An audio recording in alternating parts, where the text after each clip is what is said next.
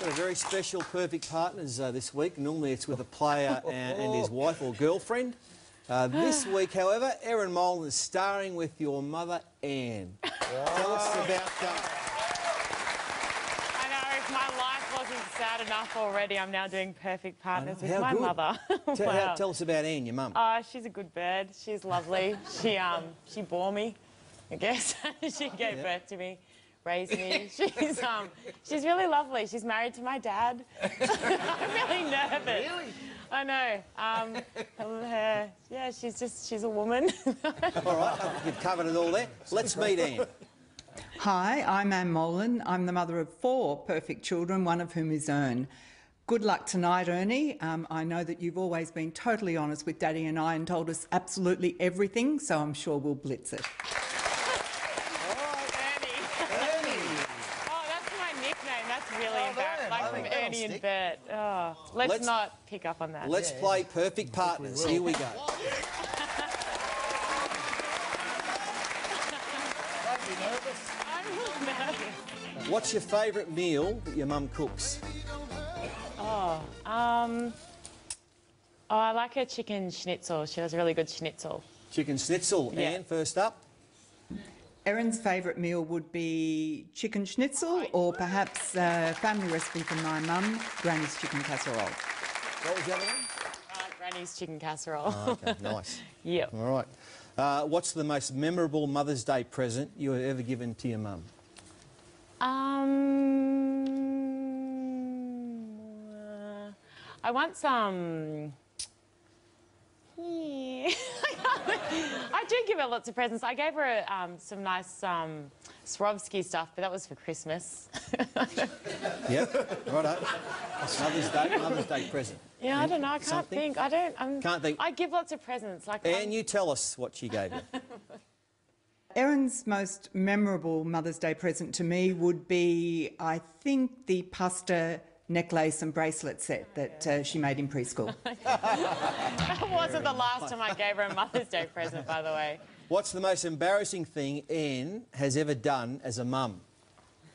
Um, it sounds so. No one else will get this, and but my sister and I, when we when we used to go to Woolies and Coles, she'd go and she'd ask like at the deli for meat, and she'd say, "I'll have 500 grams of ham," and we're like, "Mum, it's ham," and she'd sound really posh and say ham, and we'd be like, "Oh my God, it's ham." So anyway, that was really embarrassing. Well, um, Anne, we're looking for harm.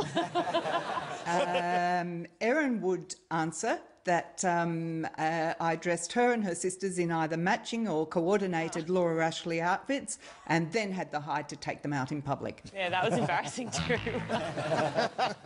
What's the most common comment on your school report card? Uh, you- that that old one, like, oh, she does good, but could do better. Like, she doesn't listen.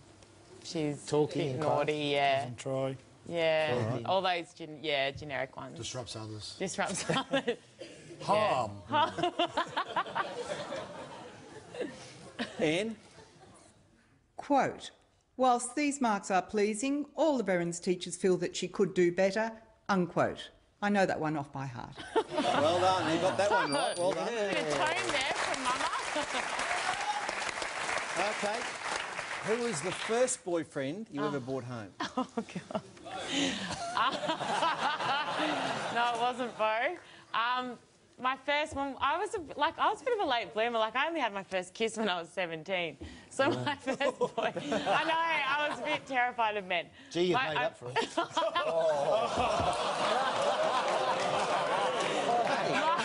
That's outrageous. My first, That's an outrage. the first boyfriend I took home was um was Paul, who I met um, at the Vikings club in Canberra. He was a G-Train. no, he was a big a big Irish person. Yeah, G-Train. yeah, yeah, yeah, yeah, yeah. What are you doing? Paul, he said, Well, that's the first one she knew about. he was big, was he? He was, that's how he no, was big? he was big and tall. Oh, he okay, was, righto. he was, yeah, he was a big. We're looking for Paul. Big Paul.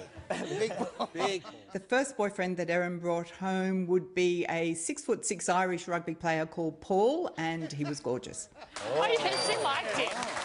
And Dad, Dad was in the army, so Dad was away a lot. How long Mum did he, liked how him. long did he last? It was about three years, I think. Oh, really? Oh, yeah, long termer.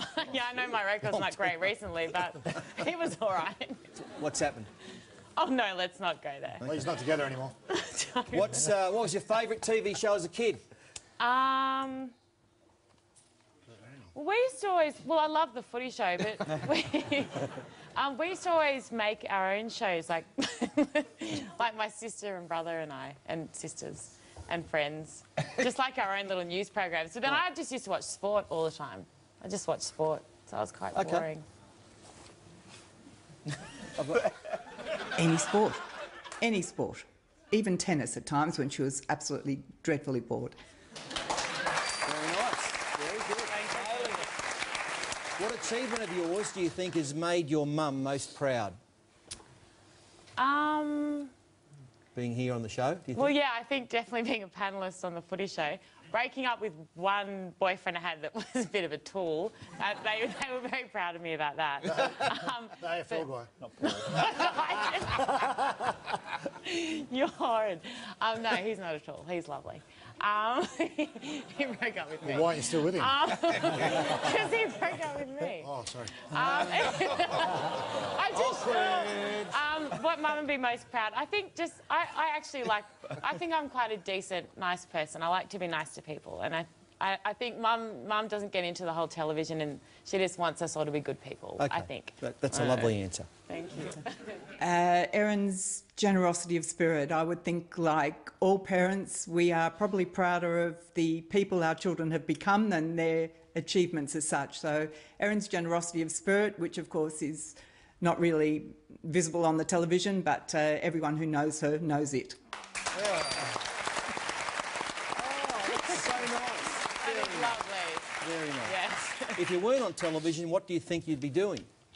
Um, well, when I was younger, my sister and I wanted to start a horse farm and teach them gymnastics. So I'd probably be doing that.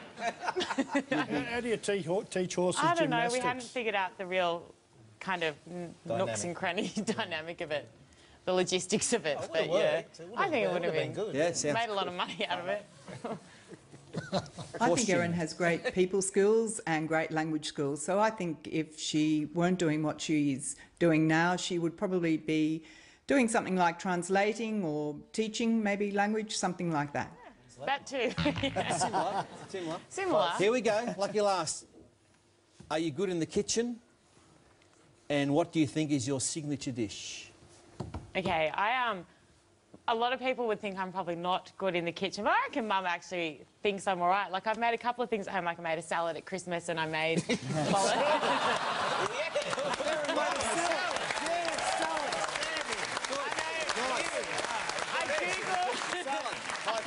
I googled the recipe and I had it on my phone, and Mum took me shopping. It was so exciting. It was really, really lovely.